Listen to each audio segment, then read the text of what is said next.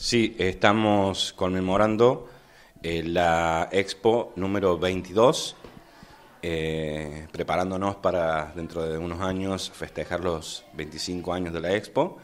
Podrán ustedes haber observado que están todos los chicos haciendo la preparación que se hace esta mañana hasta el mediodía y ya durante la tarde se empieza a realizar la Expo en sí. Bueno, ¿cuál es el objetivo principal de esta actividad? Eh, el objetivo principal, en, sus principios, era una expo contable.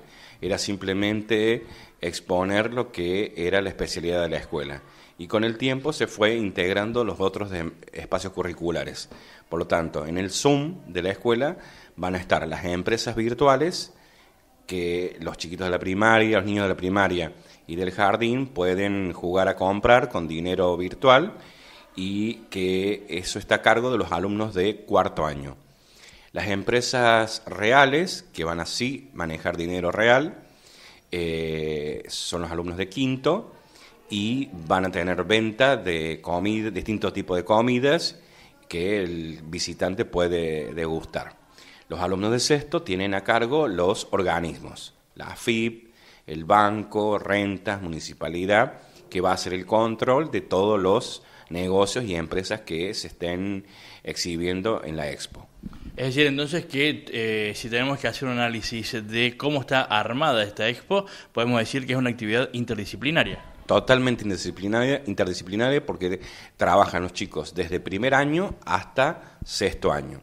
El ciclo orientado maneja todo lo que es la parte de la orientación y el ciclo básico eh, ustedes van a poder observar en el resto de la escuela los distintos espacios curriculares, matemática, eh, lengua, ciencias naturales, ciencias sociales, formación para la vida y el trabajo, y artística, donde los chicos con los docentes van a exponer los trabajos que han realizado durante todo el año.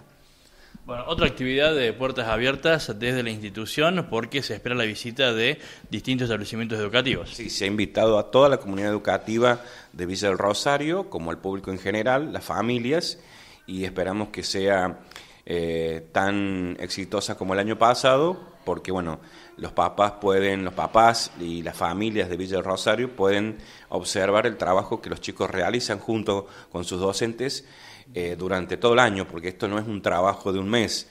Eh, para preparar la expo se comienza a trabajar desde el principio de año y hoy se pone en evidencia todo ese trabajo.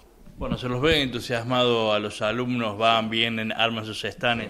Están por todos lados, podrás ver que eh, los chicos, esta parte del año, esta parte, esta actividad que ellos tienen, al igual que las intertribus, los intercolegiales, las olimpiadas, eh, es un trabajo que a ellos les fascina porque pueden demostrarle a los padres y a la familia y al público en general todo lo que trabajan y todo lo que aprenden dentro de la escuela.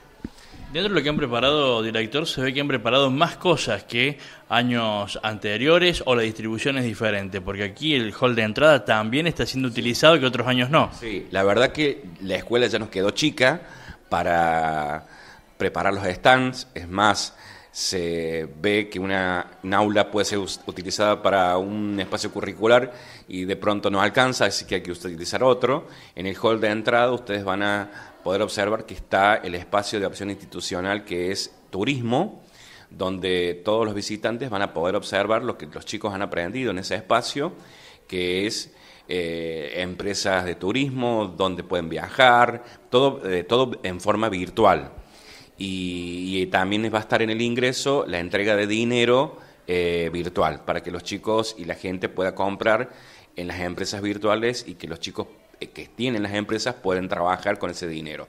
Todo controlado a través de facturas, facturas que son realizadas con los profes y que después se hace todo un control. Los alumnos de quinto año que manejan dinero real, todos los recolectados no es para ellos, sino que no es que se lo llevan los chicos, sino que eh, se junta ese dinero y cuando ellos están en sexto año realizan un viaje educativo. Bueno, es decir, una actividad que comienza hoy a partir de las 18 horas y que eh, mañana viernes en qué horario se la puede visitar. Hoy es desde las 18 hasta las 21 y mañana desde las 9 de la mañana hasta las 13. Eh, es otra más de las actividades que se ha realizado en noviembre. El IPEN 148 este mes de noviembre ha tenido bastantes eventos. La conferencia del profesor eh, Horacio Ferreira.